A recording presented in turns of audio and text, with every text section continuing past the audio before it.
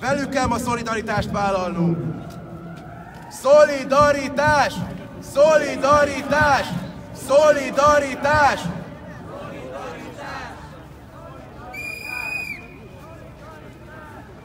Az Aradi utcában Köztük volt egy jó barátom is, Adrian. Pár perce kaptam megint, hogy szerencsére már szabadon engedték, de sokan még mi, mindig jogsértő rendőri intézkedés alatt állnak. Ő a CEU PhD hallgatója.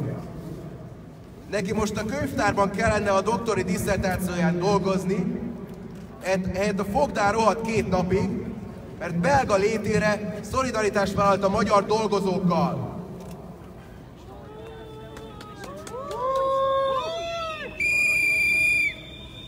Ha minden magyart olyan fából faragták volna, mint őt, már rég felugrott volna ez az egész bűnöző banda egy aranyrögökkel megrakott Moszkvába tartó magángépre, mint ahogy Kosztolányi leírásában tette az Kumbéla. Természetesen én nem akarom a tövek bal szélét elidegeníteni, nem a társköztesség megítélésről van szó, csak egy fikcióról.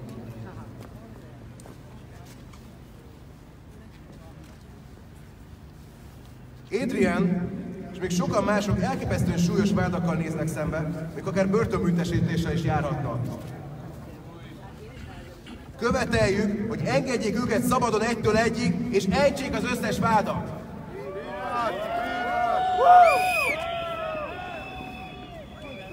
Gondolkodjunk el azon is, hogy mit jelent számunkra a szerdán elfogadott másik hírhet törvény. Megszűnt az állam bírói felügyelete.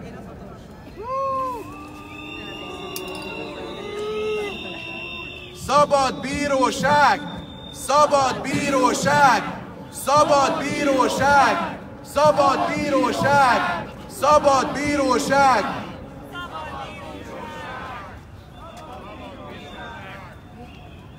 Innentől kezdve a bíróhoz fordulunk az állami jogsértések miatt, csak olyan bíró dönt majd az ügyünkben, aki nem a jogot, hanem a pártuzasítást alkalmazza a döntésében. Hagyhatjuk ezt?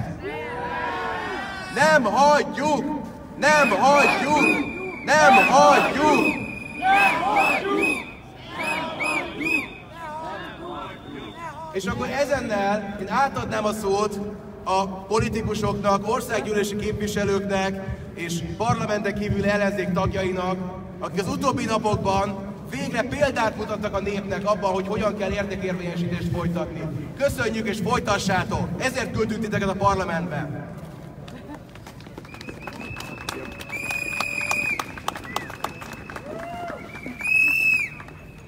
Igen, Muham János következik, az MSZP országgyűlési képviselő, és szeretném mindenkinek felhívni a figyelmét, hogy a karácsonyfa előtt zajlott a beszédek, úgyhogy forduljatok ide. Na, hogy álljunk, hogy a karácsony felé álljunk? Hát boldog karácsony! Ismerős ez a mondás valakinek? Hm? Ismerős? Na, ki mondta? A, a köztársasági elnök is ezt mondta legutóbb. Aki elő odaálltunk a parlamentben azon a napon, amikor elfogadták a rabszolgatörvényt, és kértük, hogy álljon a nép oldalára, és nem pusztán a pártpolitikai hatalmi érdekeiket kövessék. Nem bízhatnak már a köztársasági elnökükben Áder Jánosban a magyar. Hadai Ágnessel kértük együtt, hogy elhallgat a parlamenti ellenzék. Csöndbe fogunk maradni, hogy Áder János úgy dönt, hogy a nép oldalára. De nem először nem tette meg. Nem tette meg akkor, amikor a jogainkat csorbították más területeken, és most sem tette.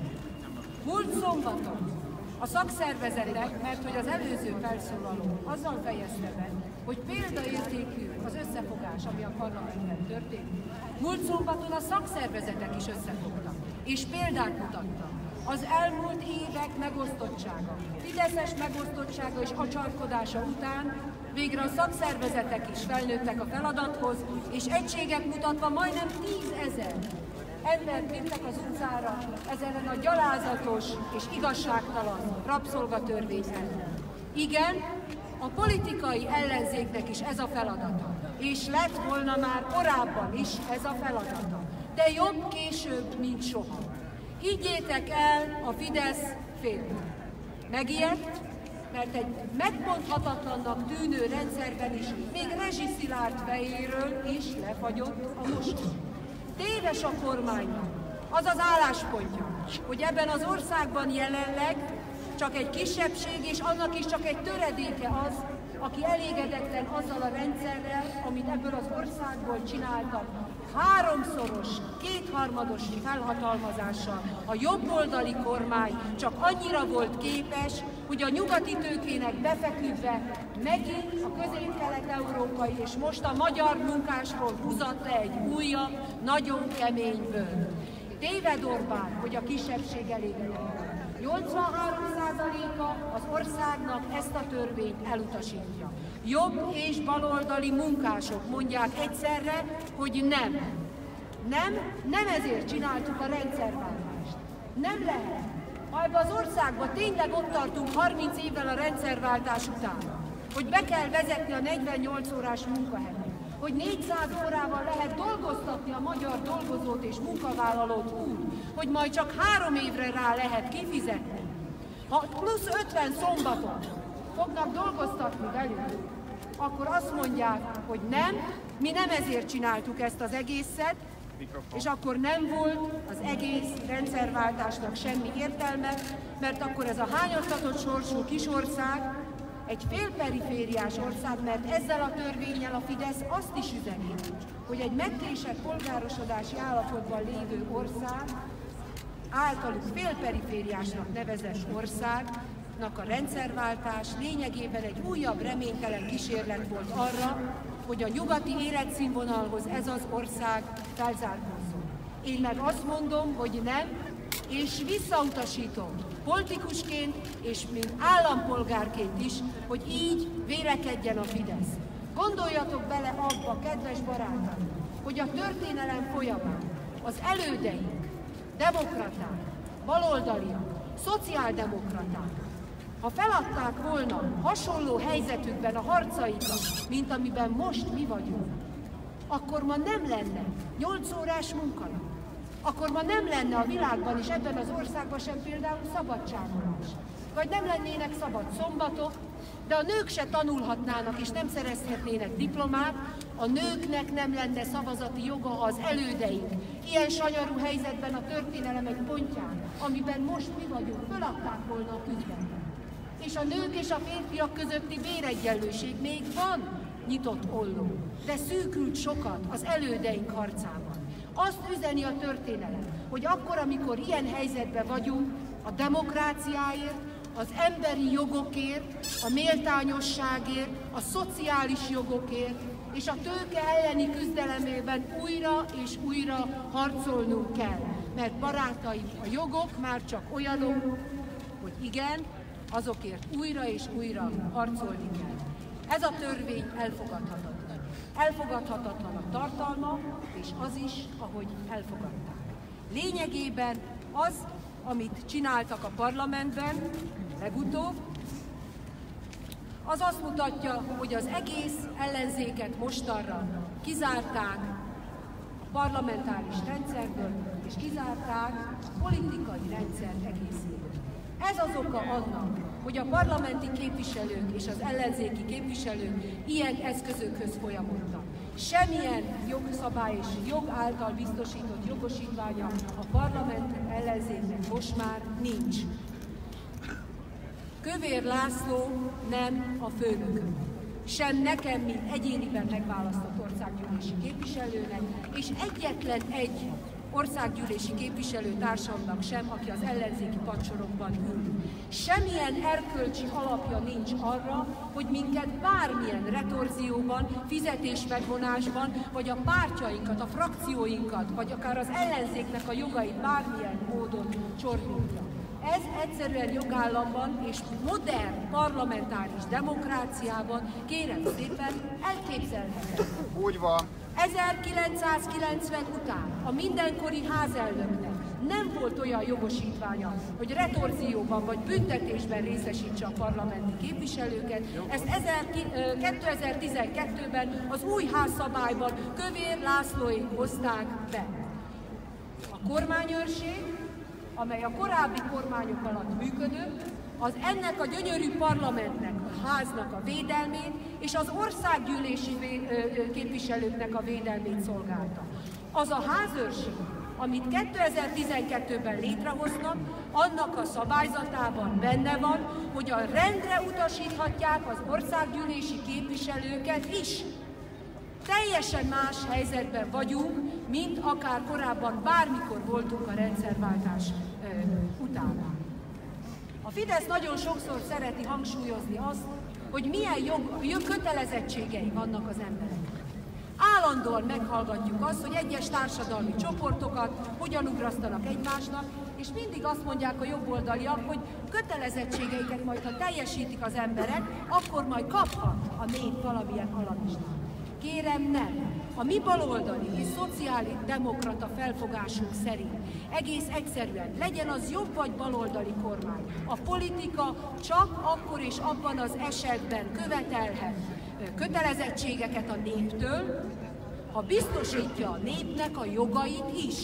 A népnek ugyanis az állampolgári joga, alapvető emberi joga, a tisztességes munkához való joga, a normális bérhez való jog, a normális munkaviszonyokhoz, munkakörülményekhez való jog, lakhatásjog, az egészségügy és az alapvető tudáshoz, oktatáshoz való hozzáférés joga. Hogy az Istenbe várja el a Fidesz azt azoktól a gyerekektől, attól a több mint 80 ezer kisgyerektől, akit nemhogy szakmai, általános iskolai végzettség nélkül takarítottak ki a közoktatásból, hogy befizessék az adót. Mert jogod, kötelességed adót fizetni? Igen! Hogy fognak ezek a gyerekek felnőttként munkavállalók lenni, adófizetők lenni, nyugdíjjárulék vagy éppen egészségügyi járulékfizetők lenni?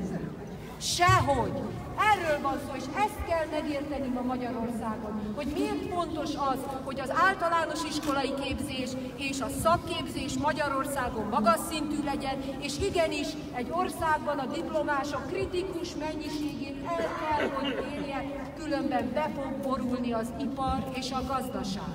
És ilyen oktatás mellett, ha nincs megfelelő mennyiségű tudás és minőségű tudás, a mindenkori politikai elit előtt ilyen sanyarú döntéseket fognak hozni 5 év múlva, 10 év múlva, 15 év múlva is. És akkor tényleg nem lesz ennek az országnak előre menetel. Ez az, amiért ma itt vagyunk, ezért van ez az egész tüntetés sorozat, ezért van az, hogy a parlamenti képviselők, szakszervezetek, diákok, nyugdíjas szervezetek és mindenki, aki nem bírja Orbánék politikáját elviselni, azoknak szorosan, minél szorosabban, a lehető legszorosabban össze kell kapaszkodnia. Meg kell érteni a magyaroknak, szociáldemokratáknak, polgári radikálisoknak, zöldeknek, liberálisoknak, de liberális jobboldali érzelmű embereknek is azt, hogy amíg Orbán 15 év alatt egy a tábor, egy az ászló jelszója alatt, hét pártból összekalapálta a Fidesz, és ma megmondhatatlan hatalmi egységet képviselnek, Hát kérem, a demokratikus, liberális érzelmű jobboldali szavazóktól egészen a neofasiszta elemekig egy tábort alkotnak. Minden korábbi nézeteltéréseiket, történelmi és politikai, erkölcsi nézetkülönbségeiket is félretettek és hatalomban van. Az alatt a hazai baloldal és a demokratikus oldal szétesett, polarizálódott, és pártok még ketté is szakadtak. Így ez nem mehet tovább. Nem mehet tovább, mert saját magunk alatt vágjuk a fát. Ezen a versenypályán magunkat lövjük lábon, és hozzuk hátrányba. Hát nem elég nekünk a választójogi törvény? Hát nem elég nekünk a média monopólium? Hát nem elég nekünk, hogy az igazságszolgáltatás, hogy az a budai már, amit csak kifér a száján, megrágalmaz bennünket, és senki, de senkitől nem tudunk semmilyen jogorvoslathoz fordulni, és nem csak mi, a nép se. Hát még magunkat is hátrányba hozzuk. Hát emberek, ha van stratégiai célkitűzés a hazai ellenzéki érzelmi szavazók előtt, az az, hogy együvé kovácsolják magukat. És ez nem összefogás babla. Ma olyan történelmi pillanat van, és olyan politikai helyzet van Magyarországon, hogy ez az előfeltétele annak, hogy bármilyen politikai sikert el tudjunk érni. Ha ma nem lenne internetbarátaink, és az ellenzék és a szakszervezetek nem fogtak volna össze, akkor megnézhetnék magunkat. De van, Támogassátok és biztassátok egymást. Elszántan nem szabad feladni ezt a harcot, mert nem engedhetik meg a magyarok, mert ez a gyönyörű ország jobb, többet érdemel, a magyarok nem másodrendű állampolgárok, csak annak vannak kezelve, sőt, hülyének vannak nézve, a saját hazánkban néznek bennünket hülyének. Így van. És szarnak. 2006 között miért nem Azt kívánom nektek, amikor ott volt a hatalom a kézben? amikor a, korábban a hatalom a mi kezünkben volt, tettünk jó és rossz dolgokat. Ezt kell megérteni, hogy soha, de soha nem voltunk antidemokratikusak. A demokrácia olyan, mint a levegő, amikor nincs, akkor tudja meg az ember igazán, hogy mennyire hiányzik. Magyarok erősek vagytok, össze kell kapaszkodni, biztassátok magatokat és harcoljunk, mert ezek el fogják vágni mindenkinek a torkát. Az egységbe tömörülés után a következő lépés az európai parlamenti választás. Meg kell érteni az ellenzéki szavazóknak, hogy fel kell állni a fotelből. El kell menni szavazni, mert a jobboldaliak darabra elfognak. És barátaim, ha Orbán újra kétharmadot szerez, még egy arányos választási rendszerben is az európai parlamenti választásokon, és az az irányvonal fog Európában is győzedelmeskedni, amit Orbán képvisel, akkor bizony itt ellenzéki pártokat is akár beszüntethetnek. Nézzétek meg, hogy a Momentumot és a párbeszédet már az állami számvevőszék ö, ö, próbálja ellehetetleníteni, a támogatásukat próbálja megvonni. Nem engedhetjük meg! Minden esély megvan arra, hogy ezt a hatalmat megbillentsük. A ti szívetekben égő láng az az igazi magyar virtus, ami ezeket térdre fogja kényszeríteni. Csak legyen bennetek erő, mi készen állunk, és igenis várjátok el azt, hogy egységesek legyünk. Köszönöm.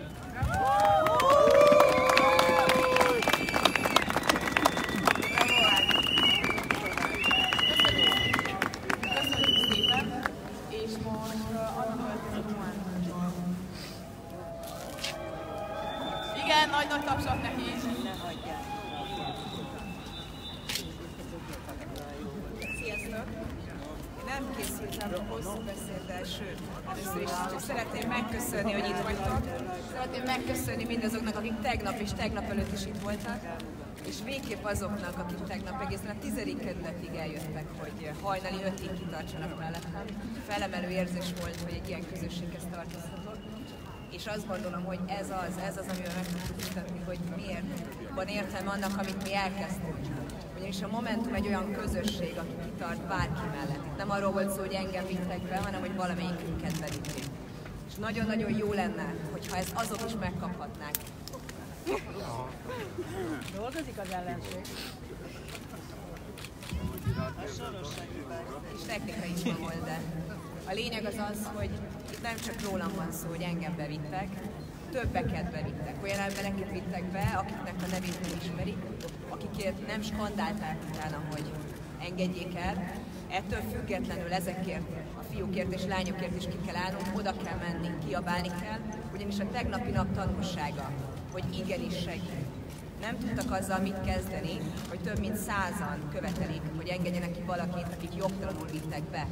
Ugyanis nekem már az elején elmondták, hogy szabálysértésért visznek be maximum. És innentől kezdve már hamis a történet. Amikor engem letepertek és hátrahoztak, akkor nem a Momentum alelnökét teperték le, hanem egy tüntető lányt, aki háttalált a sorban. És ezt nagyon fontos kiemelni.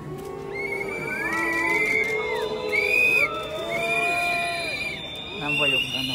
Ez nagyon fontos kiemelni, ugyanis nem, nem olyan embereket vittek be az elmúlt napokba, akik konkrétan rendőröket támadtak, hanem békés tüntetőket. Olyanokat, akik kiabáltak, olyanokat, akik dühösek voltak, olyanokat, akik bármilyen úton, módon füsttel, zászlóval, ordibálóval, bárhogyan kifejezték az elégedetlenségüket. Ugyanis itt most már arról van szó, hogy hiába léptük át már évekkel ezelőtt, illetve nem mi, hanem a kormány azt a bizonyos vörös vonalat, de amit szerdán elfogadtak, az most már egy olyan szintre helyezi a mindennapjainkat, amire, amire már nincsen több szó. Tehát, hogy mi kell nekünk még ahhoz, hogy megmutassuk, hogy ezt nem akarjuk. Hogy nem, nem minket képviselnek, hanem a saját érdekeiket. Ugyanis itt már nem csak arról van szó, hogy kik dolgoznak a különböző gyártósorok mellett. Itt ugyanúgy szó van az orvosokról, a pedagógusokról, mindenkiről, aki túlórázik.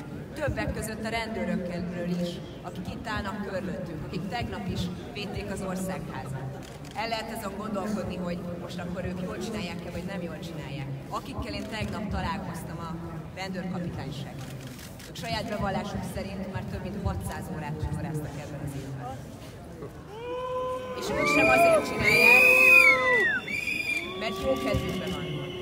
És önként vállalták. Én beszéltem olyannal, aki bevallotta, hogy számára a szakmája a hivatása. Több generáció óta rendel.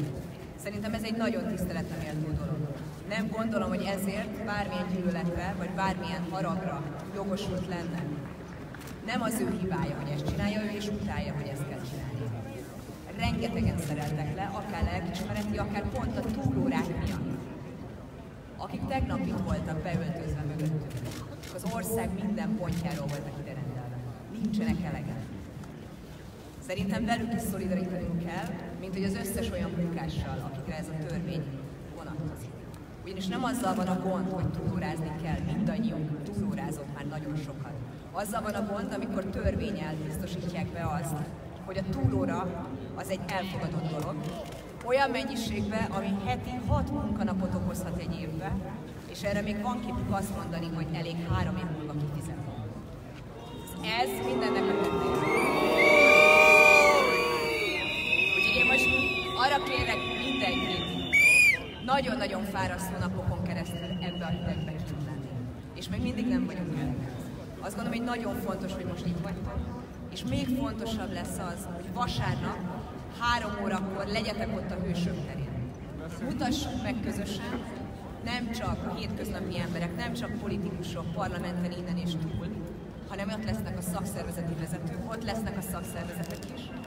Addig a hétvégén van idő, hogy mindenki beszéljen a környezetével, hozzátok el az embereket. Hangosítsuk ki a hang, azoknak a hangját, akik nem elég hangosak. Ugyanis tegnap ez történt. Én nem illegális cselekményt követtem el, hanem egyszerűen egy figyelemfelkeltő eszközzel éltem. Ugyanis azt gondolom, hogy a politizálásnak a lényege az pont az, hogy felhangosíts azoknak a hangját, akik nem elég hangosak. Hogy példát mutass azzal, hogy te kint vagy. Azok után is, hogyha 8 órát töltesz az őrsön. Ugyanis itt nem arról van szó, hogy akkor itt most én mit csinálok. Arról van szó, hogy ha én nem jövök ki, akkor hogyan várom el mástól, hogy kijöjjön. Úgyhogy gyertek, gyertek vasárnap, és nagyon-nagyon köszönjük, hogy itt vagytok, hogy itt voltatok tegnap, itt voltatok tegnap előtt, és szerintem addig itt kell lennünk, amíg nem érti meg a hatalom. Hogy lehet, hogy nekik van többségük kormányon, de az biztos, hogy amit most csinálnak, azzal nincsenek többségben a társadalomban. Köszönöm szépen!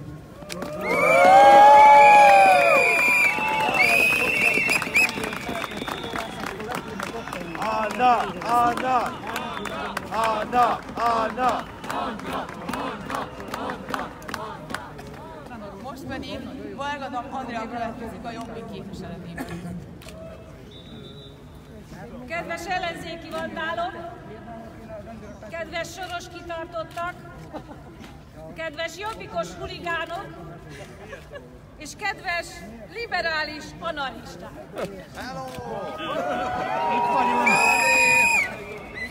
Így hívnak benneteket azok, akik a ti, a szüleitek, a nagyszüleitek, a testvéreitek adóiból elképesztő cicomában és luxusban élik mindennapjaikat, azok, akik az életükben még érdemi munkát soha nem végeztek, csak a politika porodján táncolva a nép türelmét folyamatosan megpróbáltatásnak kitéve évtizedekig még hatalmukat fenn akarják tartani. Ők ilyen finnyásak. De mi nem vagyunk finnyásak, amint látjátok, megkérdezhetitek, hogy mit keres egy színpadon egy liberális, egy szocialista, egy polgári konzervatív, egy esetleg szélső jobboldali, szélső baloldali. Mit keresnek ezek az emberek egy színpadon? Elmondom nektek, mit keresnek egy színpadon. Együtt keressük népünk boldogulását. Azt keressük egy színpadon. Azt a boldogulást keressük, amit 1990-ben azok ígértek nekünk, akik most beteg despotaként próbálnak a nép hátán ugrálni. Ők ígérték nekünk mindannyiunknak 1990-ben, hogy itt ausztriai életszínvonal lesz, hogy itt azért lesz demokrácia, hogy az emberek jólétét a gazdaság erejével meg tudják teremteni. És hova jutottunk mára? Európai Unióban második legszegényebb társadalom vagyunk, és most figyeljetek, Európában a mi népünk tagjai dolgoznak a legtöbb munkaórán. Ilyen viszonyok közé volt képük bevezetni a 400 órás túlmunka lehetőségét a munkáltatóknak. Egy olyan közösségbe próbálták ezt bevezetni, és próbálják ezt bevezetni, ahol amúgy is túlmunka, túlóra, másod, harmad nélkül egy család képtelen tisztességesen megélni. Mert az árak nyugatiak lettek, de a bérek keletiek maradtak. Bár már az sem igaz, hogy a bérek keletiek maradtak, hiszen a keletiek már elhúztak mellettünk, lassan már a Balkán is elhúz mellettünk, de a magyar társadalom polgárainak még mindig két-három állás kell ahhoz, hogy tisztességesen boldogulhasson. De kedves honfitársaim, szerdán nem csak a 400 órás túlmunkáról szólt a szavazás. Szerdán két olyan borzasztó törvényt is elfogadott ez a társaság, amely gyakorlatilag a demokrácia befejezésének és a diktatúra kialakításának két fontos intézményét hozta létre. Az egyik a közigazgatási bíróság, a másik pedig, nem is gondolnátok, a honvédelmi rendszer olyan fajta átalakítása, amely annak ágyaz meg, hogyha itt bármikor rendszerváltás lenne, hiszen arra van szükség, ha bármikor kormányváltás lenne, az itt maradt rendszer bármikor az új kormány ellen katonai pucsot tudjon végrehajtani. Ezeknek a szabályoknak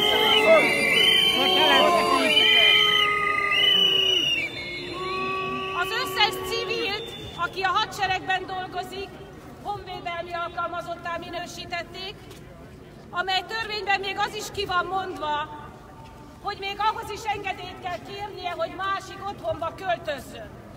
Szabadságával nem rendelkezik, és bármifajta kihirdetett veszélyhelyzet során nem mondhat fel. Persze ígértek nekik egy kis béremelést ehhez, de az semmi azokhoz a kötelezettségekhez képest, amit a tervükre előírnak megszavazták azt a honvédelmi rendszer átalakítást, hogy honvédelmi veszélyhelyzetet hirdethet a hadsereg főparancsnoka bármikor. Szinte semmilyen feltétel nem kell hozzá. Ezt is mind megszavazták. Orbán Viktor magánbíróságot hozott létre a közigazgatási bírósággal. Nehogy azt higgyétek, hogy 2019. január után csak úgy tüntethettek, meg csak úgy flashmoboktok lehet, meg csak úgy sztrájkolhattok. Nem. Ez a bíróság minden ilyen ügyben el fogja utasítani az igényeteket, mert a demokrácia ezt a kormány zavarja. Kérdezhetitek tőlünk, ellenzéki képviselőktől, mit tudunk még tenni? Azt tudjuk tenni, amit eddig is beszélünk, csináljuk azt, ami a feladatunk, de azért azt tudnotok kell, hogy a nép nélkül és a nép támogatása nélkül mi képtelenek leszünk arra, hogy ezt a rendszert váltsuk, felváltsuk. Arra készen állunk, hogy bármikor a kormányzásban részt vegyünk, hiszen az ellenzék kibűvelt emberfőkből áll, akik dolgoztak életükben, akik tudják mi az a magyar nép érdeke.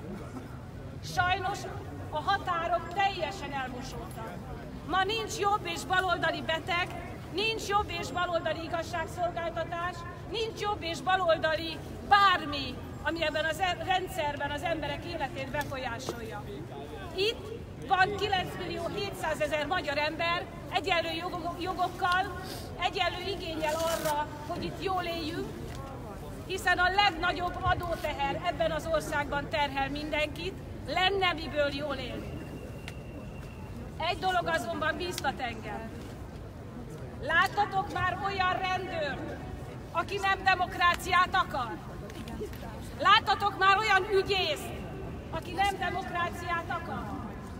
Láttatok már olyan bírót, aki nem demokráciát akar? Vagy akár olyan tanár, vagy akár olyan adóellenőrt, aki nem demokráciát akar? Nem találtok ilyet. És miután ilyet nem találtok, Orbán Viktor bármit kitalálhat, bármikor a magyar népre zúdíthatja rendőreit, katonáit. Ezt a parancsot tövegesen úgy sem fogják soha teljesíteni. Szerdán hosszú órákon keresztül láttam Orbán Viktor viselkedését. Az elején a vidámság, rihegés, röhögés, az órák múltával egyre inkább a zavarodottság és a gyengeség látszott.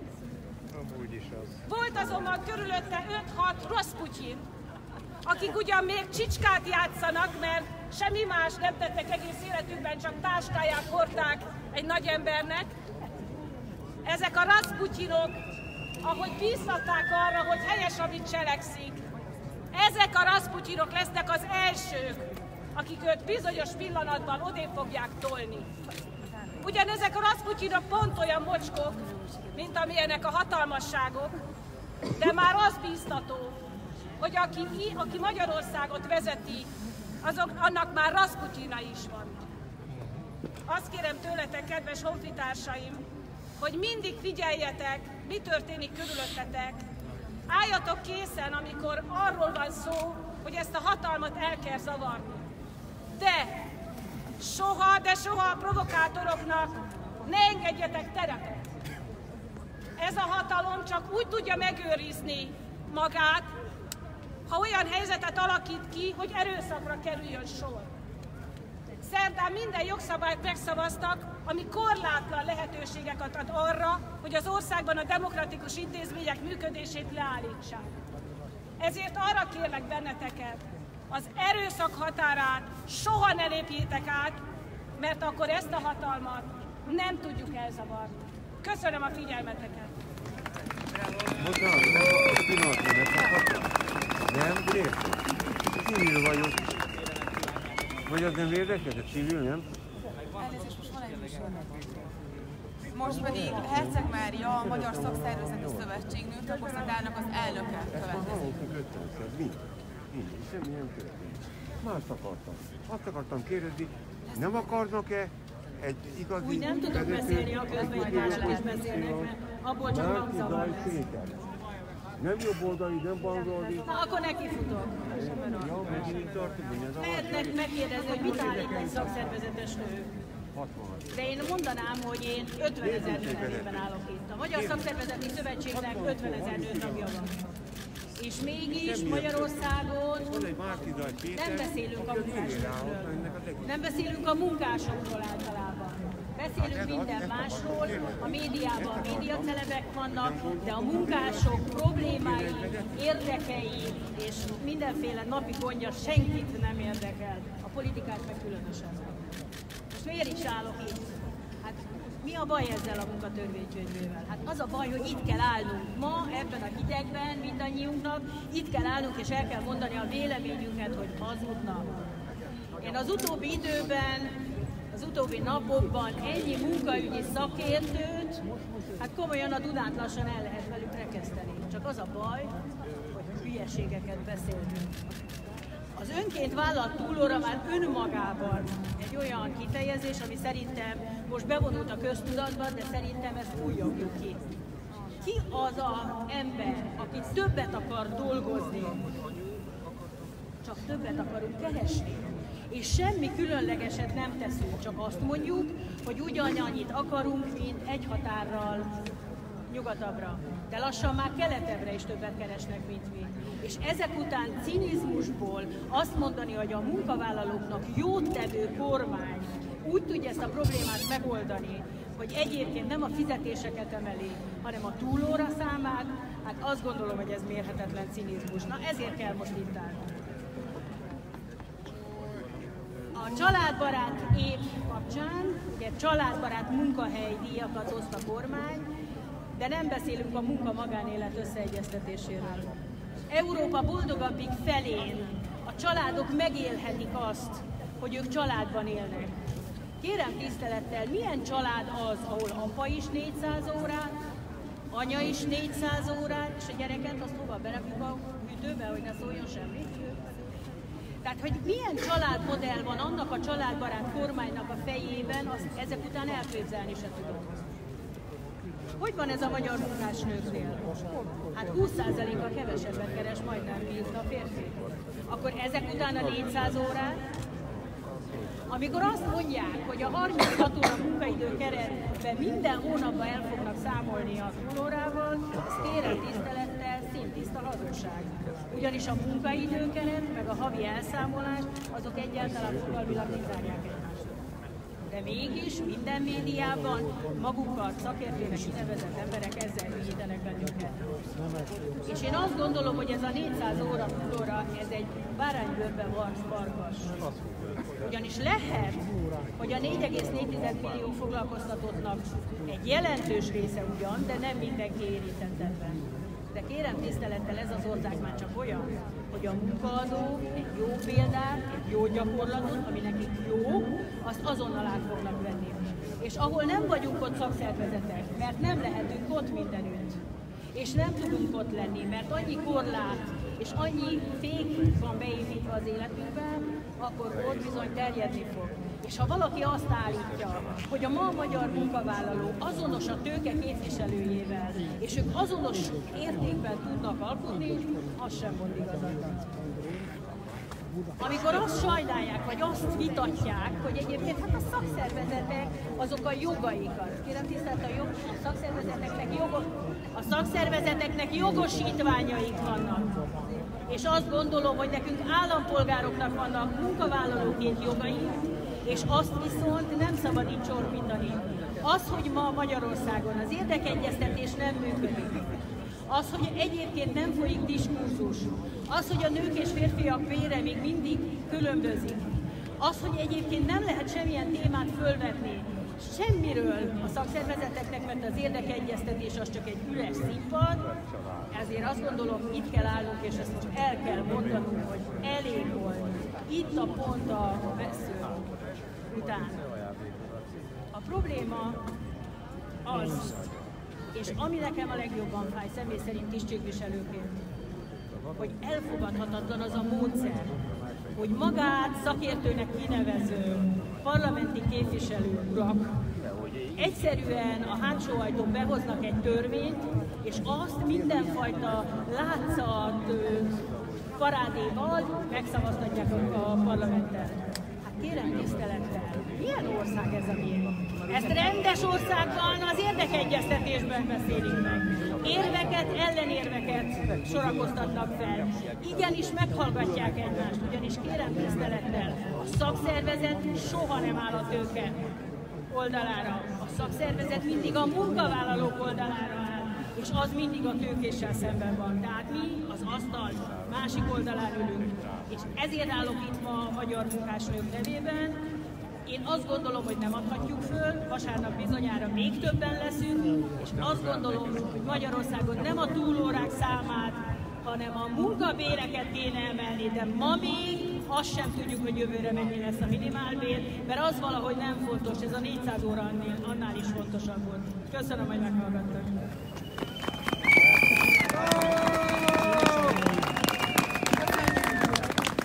Most Vadai Ágnes, a DK országgyűlési képviselője fog beszélni. Hajrá, Ági! Szép jó estét, sziasztok! Évek óta azt hallgatom, hogy soros ügynök vagyok, soros katona vagyok, Brüsszel kiszolgálója vagyok, hazáruló vagyok, és nem vagyok magyar. Ez egész egyszerűen nem normális. Nem normális, hogy ezt mondják azokról, akik szemben állnak a Fidesz világával. Egészen egyszerűen nem normális, hogy csak azért, mert más gondolunk Magyarországról, Magyarország jelenéről és jövőjéről, mi nem vagyunk magyarok. Rajtunk át lehet gázolni. Bennünket nem kell figyelembe venni. Mindig azt mondják, hogy nekik többségük van. De ha valakinek többsége van, annak felelőssége van. Az a felelőssége, hogy figyeljen a kisebbségre. Ráadásul azt látjuk, hogy lehet, hogy a parlamentben többségük van, de a társadalomban bizony nem biztos, hogy megvan ez a többség már. Különösen a szerdai rabszolgatörvény következtében. Ugyanakkor azt is láttuk, hogy évek óta az ellenzéki megmozdulások, szervezték az civil szervezetek vagy pártok, nem tartottak sokáig. De valami megváltozott. Megváltozott szerdán. Mert a pártok megértették. Nem az számít, hogy mi volt tíz éve, öt éve vagy egy éve, hanem az számít, hogy mi lesz egy, két vagy három év múlva. És én azt hiszem, hogy ez az állog a közös nagy európai ügyünknek, a közös nagy fontos nemzeti ügyünknek, az európai, demokratikus, szabad, és ami ennél is fontosabb, szolidáris Magyarországnak. Tehát azok, akik ma itt vannak, vagy azok, akik néznek bennünket, azok nem csak a rabszolgatörvény miatt vannak itt. Azért, azért is vannak itt, és néznek bennünket a Facebookon vagy a televízión, mert megunták azt, ami az elmúlt években a parlamentben zajlott. Persze, Folytatni fogjuk az ellenállást, senki ne gondolja, hogy ennyi volt. Senki ne gondolja, hogy a szerdával és azzal, hogy véget ért most az országgyűlés ülése, vége volt az ellenáll, vége van az ellenállásnak. És Kövér Lászlónak mondom, nem fáj a büntetés. Egy percig sem fáj. Ha ez az ára a szabad Magyarországnak, akkor minden nap büntessen! Minden héten büntessen meg!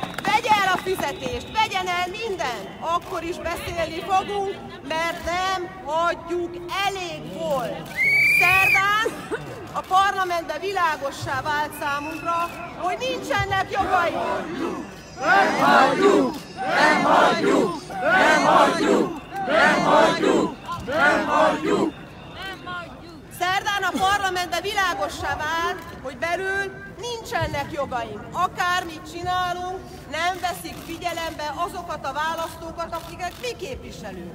Ugyanis tudomásul kell venni, hogy nem Vadai Ágnes DK-s képviselőtől veszik el a szót napirend előtt, hanem a mögöttünk álló sokaságtól, amikor elmondom nekik, hogy vegyék tudomásul, van út a börtönbe program, és ők annak a részesei lesznek azért, amit ezzel az országgal műveltek. Úgy van.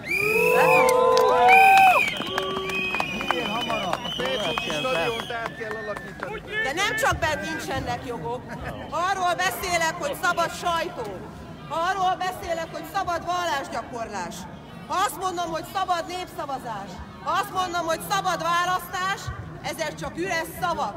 Elvették a tartalmát. Ma a magyar polgár egy jogot kapott a kormánytól, hogy szombaton is dolgozzon, hogy a családjától minél többször távol legyen. És ezt nem hagyhatjuk.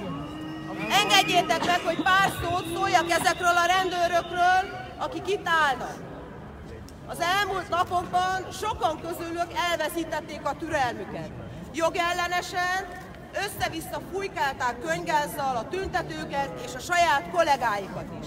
De egy dolgot fogadjatok el tőlem. Közülük nagyon sokan veletek, velünk vannak, de holnap el kell menniük kenyeret venni a gyereküknek. El kell menniük karácsonyi ajándékot venni a családnak. Ne rájuk haragudjatok, azokra haragudjatok, akik miatt itt vagytok, akik kiküldték ezeket az embereket ide az utcára, ide a Kossuth tér köré. A Fideszes képviselőkre, a Fidesz kormányra. Nekik írjatok, menjetek el a fogadóóráikra, hívjátok föl őket telefonon, használjátok az e-mailt. Van, akinek Twitter oldala is van, aki, amin állandóan gyalázza ezt a közösséget, és minden ellenzéki közösséget. Azt mondom, hogy az ellenállás az nem csak itt az utcán van, hanem minden eszközzel szembesíteni kell a Fidesz politikusait azzal a gyalázattal, amit műveltek az elmúlt években az országban. És higgyétek el, láttam az országgyűlésben. Orbán Viktor a cöpfösök körül, cöpfösökkel körülvéve szívesen rázza az öklét Brüsszel, Soros és mindenki felé. De ott a parlamentben az ülésteremben, mikor megkértem, hogy ugyan legyen már olyan szíves, és legyen oly bátor, hogy nézzen a szemembe, csak lesütötte a szemét, mert mikor szembesítjük azzal, hogy mit művelt ezzel az országgal, akkor nincsenek szavai, akkor csak szemlesütés és gyáva megfutamodás van. És ugyanez igaz Áder Jánosra, aki köztársasági elnöknek hazudja magát, közben pedig csak ennek a hatalomnak a bábja.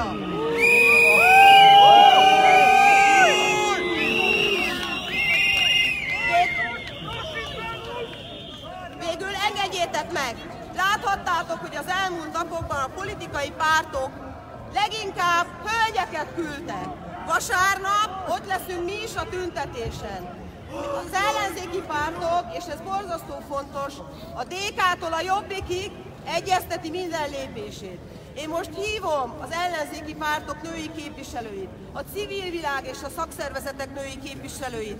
Mi is üljünk le, beszéljünk arról, hogy mi nők, és a fiúk most megbocsájtanak, de mi nők, akikről Budai Gyula azt mondta, hogy mi vagyunk igazán harcosak, hát hogyan tudunk még harcosabbak lenni? Mert azt gondolom, hogy mindannyiunknak szükség van a harcra, a küzdelemre ezzel a kormányal szemben, de szükség van arra a nyugalomra, arra a tisztességre, arra a karácsonyi hangulatra, mert Jézuskát azért mi is szeretjük, mondanám Latorcai Jánosnak. Szóval amik, amit képesek vagyunk, mi nők megteremteni. Gyertek velünk, segítsetek nekünk, nem maradjunk mi ellenzéki pártok egyedül ebben a küzdelemben. Ha most egyesítjük erőinket, akkor együtt, egymással, egymásért meg tudjuk csinálni a közös nagy álmot. Az európai, tisztességes, szolidáris Magyarországot. Köszönöm.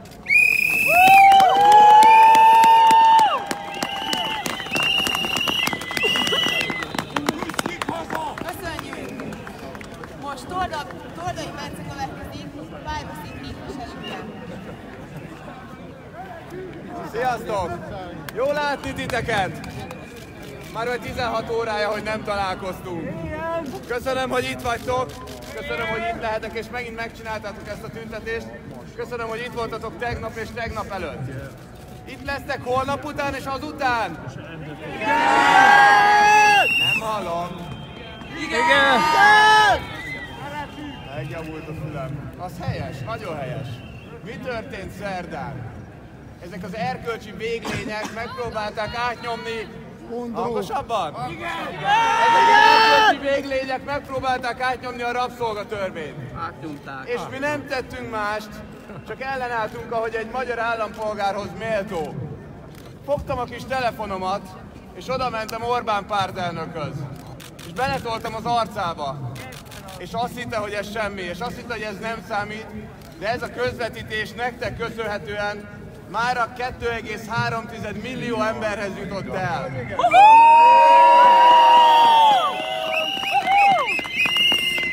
Lehet, hogy december 12-én én voltam a napembere. Az biztos, hogy december 13-án Donát Anna volt a napembere. És ma december 14-e van.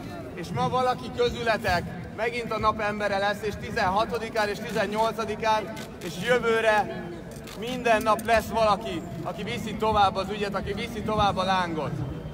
Van telefonotok nektek is? Van. Van, ugye? Vegyük elő. Ha olyan bénák vagytok, mint én, akkor le kell venni a kesztyűt. Öltözetek melegen persze, de most próbáljátok meg bekapcsolni azt a híres lámpát. Az első része ismerős lesz.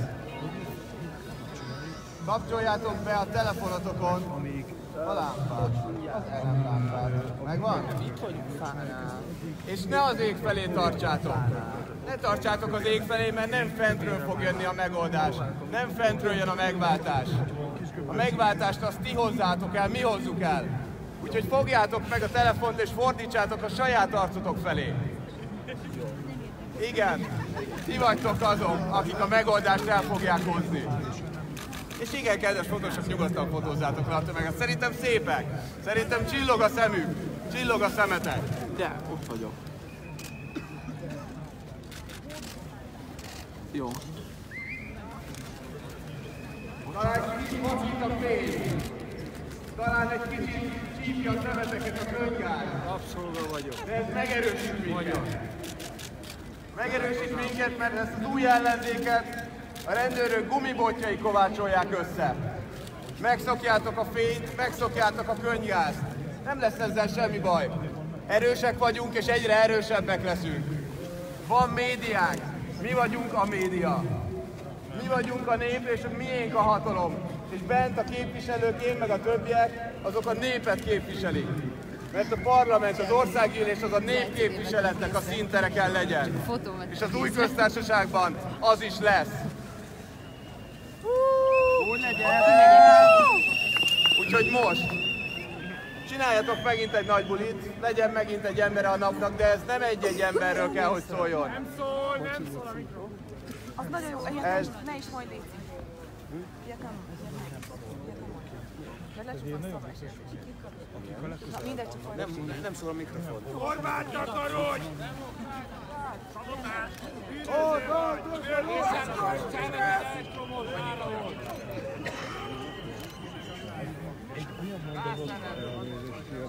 Köszönöm szépen, nagyon kedves. Én kérek elnézést.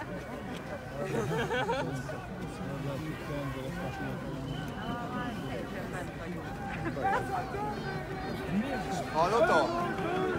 Hallottok? Nem. Nem hallottok. Széthúzták a lavot. Így nehéz.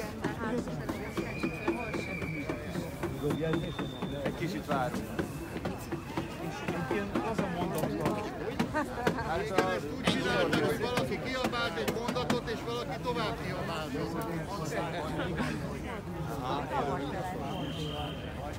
Tudjátok mi az az élő mikrofon? Igen! Mondok valamit, és kiáltsátok tovább, és hátul még tovább. Oké. Megprób... Próbáljuk meg! Valahol széthúzták a kábelt. Hol Szóval, van toldva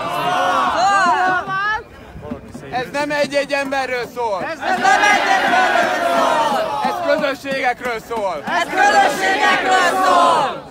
Azért van ma rajtam ez a mellény is. Azért van ma rajta ez a mellény is! Mert én nem Tordai Bence vagyok, hanem egy ember a párbeszédből. Mert nem tudod, csak te vagyok, És ti mindannyian és ti mindannyian közösségekből jöttök. közösségekből jöttök! De jó ez így. Pártokból, Pártokból, szakszervezetekből, szakszervezetekből, civil szervezetekből, civil szervezetekből, dolgozói kollektívákból, dolgozói kollektívákból, munkások vagytok, munkások vagytok! kék gallérosok vagy fehér gallérosok, mindegy. Dolgozók vagytok, vagy voltatok, vagy lesztek. Dolgozók vagytok, vagy voltatok lesznek! Együtt küzdötök.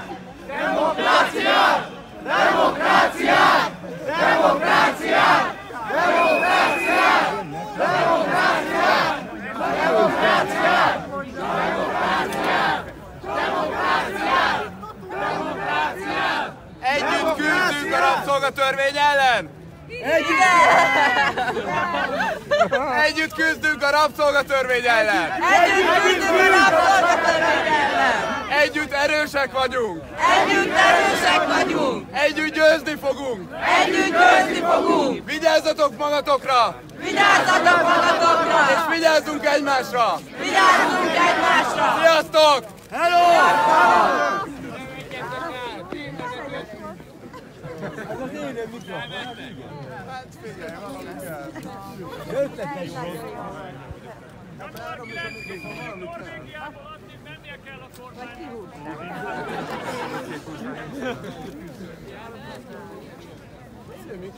Széthúzták valahol a kábelt. Smuk kezébe fog beszélni az LMP-től. Smuk kezébe fog beszélni az LMP-től.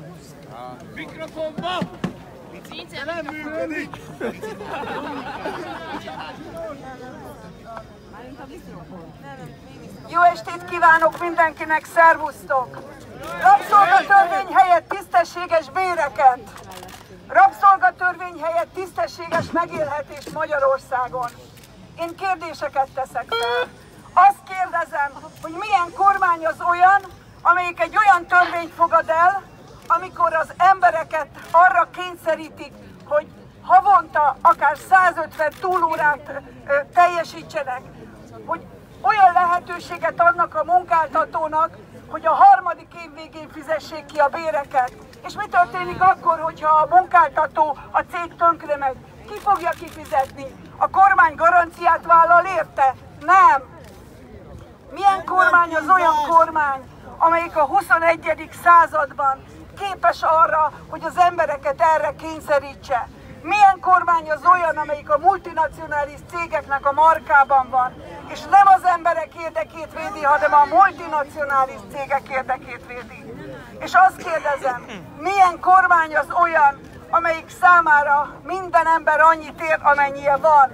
Milyen kormány az olyan, amelyik képes arra, hogy a társadalmi szolidaritást azt lerombolja? Ez nem más, mint a Fidesz kormány. Elegünk van! Elegünk van! Elegünk van! Elegünk van! Elegünk van! Elegünk van! Elegünk van! Elegünk van! Elegünk van! Elegünk van! Elegünk van! Elegünk van! Az Eurostat legújabb jelentése szerint Magyarországnál csak Bulgáriában élnek rosszabba, rosszabbul. Ma ott tartunk, hogy az ország teljesen szétszakad. A nagyon kevés gazdag emberre és az egyre több szegény emberre. Ma ott tartunk, hogy az emberek elmennek külföldre dolgozni. És akkor mikrofonban folytatom. Ma ott tartunk, hogy nem csak kevesek gazdagok és sokan szegények, hanem ott tartunk, hogy az ország is szétszakad. Nagyon szegény megyék vannak, és vannak gazdagabb megyék. Ez így nem folytatható. És azt is tudjuk, hogy nem csak a fiatalokkal bánik rosszul a kormány, befezeti a tandíjat, hanem az idősekkel is. Az idősek egyre jobban leszakadnak a dolgozó rétegtől. Arra nem képes volt a kormány, hogy a minimum nyugdíjat, ami 28.500 forint, megemelje. Számos esetben kértük a kormánytól, gyakorlatilag kinevettek bennünket, és nem teljesítették. Ez így nem folytatható. Mi vezetett idáig? Nagyon sokszor elmondtuk az országgyűlésben, hogy a kormány gazdaságpolitikája ide vezet. Nem lehet azt folytatni, hogy minél olcsóbban, minél alacsonyabb, minél kevesebb bérért dolgozzanak az emberek. A kormány csak akkor eszmélt rá, hogy a béreket emelni kell, amikor azt vették észre, hogy baj van, az ország kezd kűrülni, elmennek a fiatalok külföldre dolgozni. Szégyen! Nagyon későn ébredt fel a kormány. Változtatni kell. Képes volt a kormány minden tiltakozás ellenére ezt a rabszolgatörvényt bevezetni. Hiába küzdöttünk szerdán az országgyűlésben, hogy ne szavazzák meg. Megtették minden ellenére. Miben reménykedhetünk? Sokat ettől a kormánytól már nem várhatunk. Viszont követeljük közösen azt, hogy a kormány mégis vonja vissza ezt a rabszolgatörvényt, és hogy Áder János ne írja alá. Így van! Rabszolgatörvény helyett tisztességes Rabszolgatörvény helyett tisztességes megélhetést Magyarországon. Mi lesz a bírósági törvénye?